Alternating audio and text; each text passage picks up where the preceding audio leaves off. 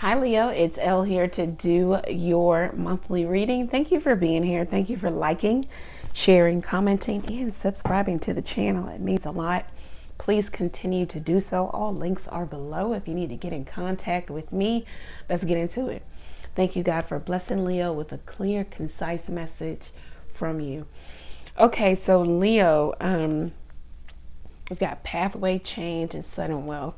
I don't know. I'm reading this as if somebody's throwing somebody out or kicking them out or asking them to leave all of a sudden somebody finds something out that somebody's been doing something. When they travel away they do something and they've been maybe having another relationship or relations with someone.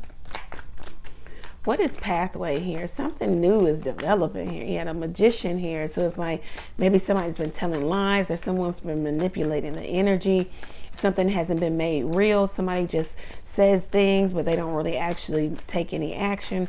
What is change here? The advice is for change. Move on, move out. Yeah, the death card. A relationship is over. Some type of dynamic of the relationship is over. Clarify the death card here for Leo. Like maybe this person coming to visit you, the Six of Cups, maybe you being naive or you letting this person lead you or just because they're older or they have more, you're letting them kind of lord over you. The simple times is over. Somebody wants something real, somebody wants something true, and if it's not happening, someone's at a place of saying, I will leave, I'm done with it. What is sudden wealth as the outcome for uh, Leo? What is sudden wealth? What is the sudden wealth? You also could be sharing your gifts here. I don't know, um, something, all of a sudden something can grow really big for you too.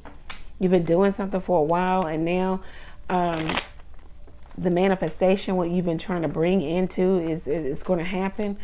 What is sudden wealth for Leo? What is sudden wealth? What is sudden wealth? The Two of Cups. Yeah, maybe you'll get some partnership or someone wanting to work with you especially if this is work here. All of a sudden, you come into partnership. Um, you come into um, maybe having a you might even partner with a friend. Okay, go into some type of business relationship. What is the sudden wealth and the two of cups here? The ten of pentacles so this can even be that all of a sudden maybe you decide to get married or you take a relationship to the next level or you find that you um, maybe you get a large sum of money this contract yields you a large sum of money um, you make some long-term goal an actual reality uh, what else do we have to tell Leo here? It looks like some of you, like all of a sudden something happens really quickly.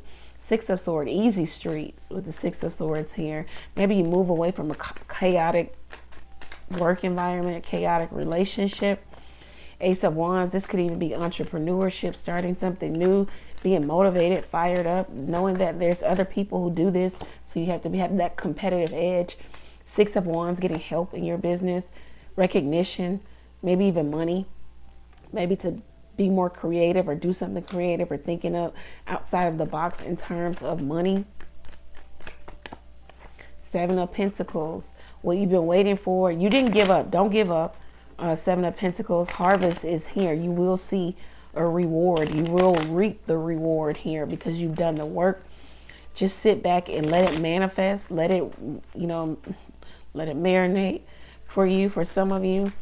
Um, it's just a period of you not seeing the reward, but it's coming to you. It says, do not give up. Don't throw in the towel. Persevere. The devil card.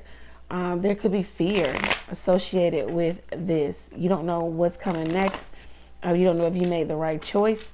Uh, this could even be credit worthiness. If you're going after something, if you're trying to move or make a move, you don't know if you'll get an approval. You don't know if you're going to get a yes answer. This could be being too extravagant, overdoing it. No. King of Cups.